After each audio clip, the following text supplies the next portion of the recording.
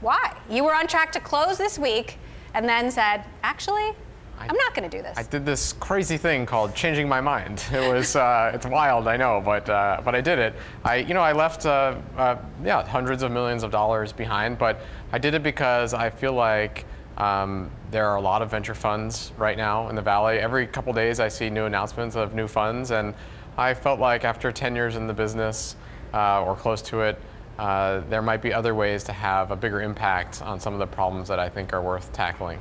Now, I know initially it was a three to five hundred million dollar fund. Then there was a report it was two hundred thirty million dollars. Did you have any trouble raising the funds that you wanted, or this is no. This was this is, really, you know, this your is uh, uh, yes. Uh, th- this is a time where there is tremendous capital available, especially if you have a track record, uh, and um, that doesn't mean that it's the right thing to do.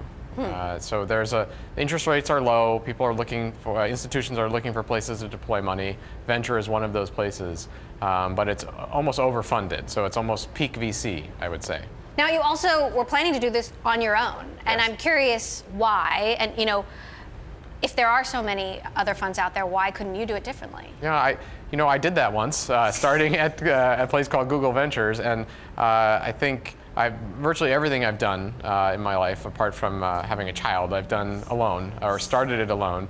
And then I was fortunate to build an amazing team at Google Ventures, and I feel like they're doing an outstanding job. There's lots of great funds in the valley, but there are real problems as well. There are funds out there that I can help, um, but I don't know that being a professional VC that the world needs yet another venture fund right now.